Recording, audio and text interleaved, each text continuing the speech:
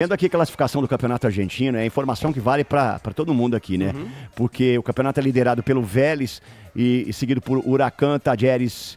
e Huracan do Abilão. Do Abilão e o Instituto e o Racing é o quinto colocado. O River Plate é só o oitavo.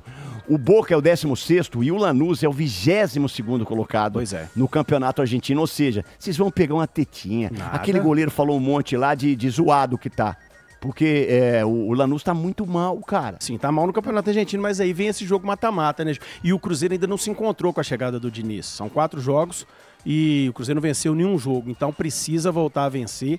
E é pra ontem e nada mais justo e nada mais merecido que vencer nessa quarta-feira. Agora os 50 caras lá largaram, viu, o campeonato argentino, porque agora não tem mais É, rebaixamento. Não, não né? tem, aí agora lá tá suave. Então são 59 mil ingressos aí pra essa quarta-feira e certamente teremos o Mineirão lotado, viu, Milton? Ah, é isso aí. Mas o Gilberto está falando aí, mas se for olhar dessa forma, qual que é a posição do seu time na, no Brasileirão?